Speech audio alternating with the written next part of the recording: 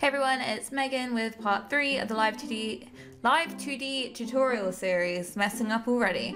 Um, so I'm going to walk you through how I do my head. So the head deformer, as you can see, is covering the head and neck because those are the parts that are inside this deformer.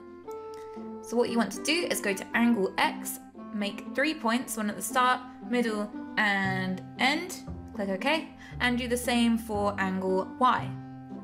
And these will be the points of looking um, up, down, right, left, and then your center pose.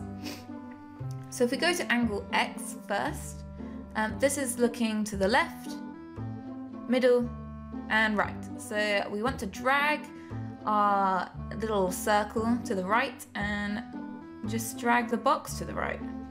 It's really simple, um, simple stuff. So if we just drag it to the right and then we can use the little dots on the mesh to pull them about and just fit them nicely so there's not a weird gap from the neck and body.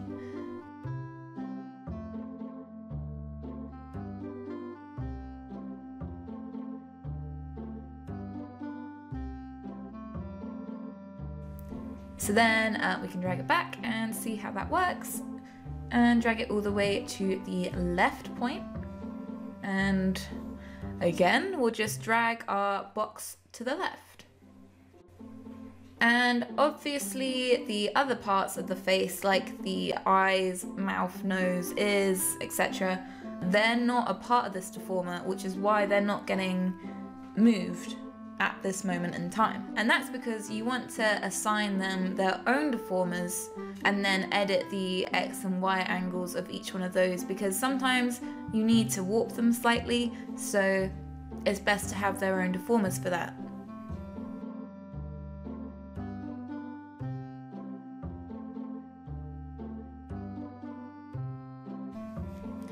Right, so once you're happy with that, we can then go in and drag the little dots which are on the mesh to the right as well. And what this does is makes it look more um, realistically 3D as the actual face is curving as the cat looks round like a 3D object does.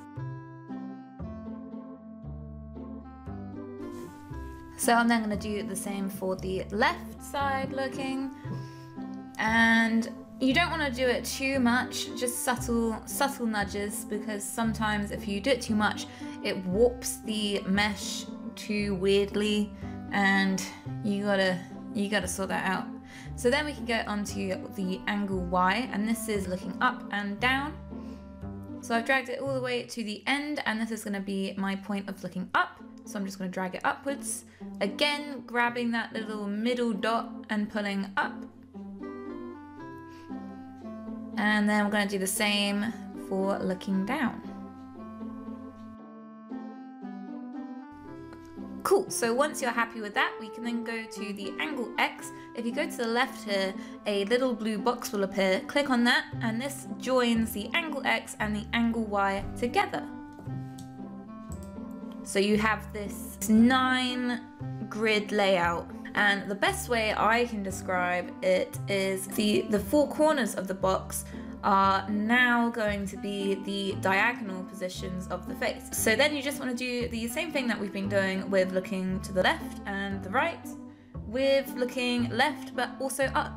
So just diagonal positions.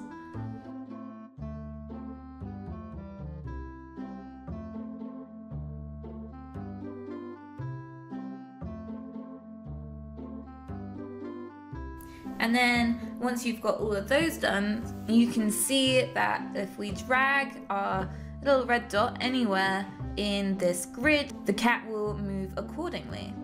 And so what you want to do is just keep refining it until you have something that you're happy with and flows naturally.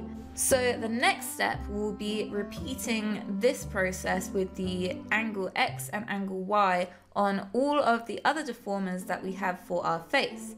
And to create those deformers, you just do the same thing that we've been doing so far.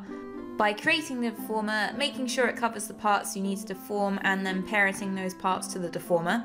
So, for instance, I have a right eye deformer and a left eye deformer, which carries all of the parts for the left eye and right eye. So I'm just gonna go ahead and do that. So things like the eyes, nose, mouth, chin, ears, you wanna do the same process with the angle X and angle Y and I'll show you what it looks like. So here we are, I've set up all of my deformers to have the angle X and angle Y.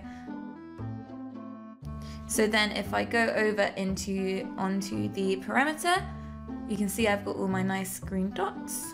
I'll just move it around and as you can see, all the parts move. It does look a little bit freaky right now, that's because I haven't um, fine-tuned it. The eyes definitely need some work. Um, but yeah, it's just showing you the general gist of it. You see looking up, looking down, and then moving all around. Wahee.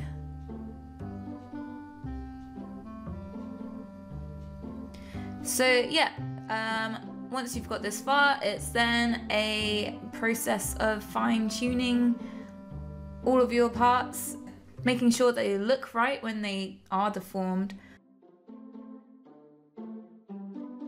But that's the basics of how I go about making the heads of my models move. Um, refining it is the part that takes the longest. Um, so this will be my life for the next hour or so.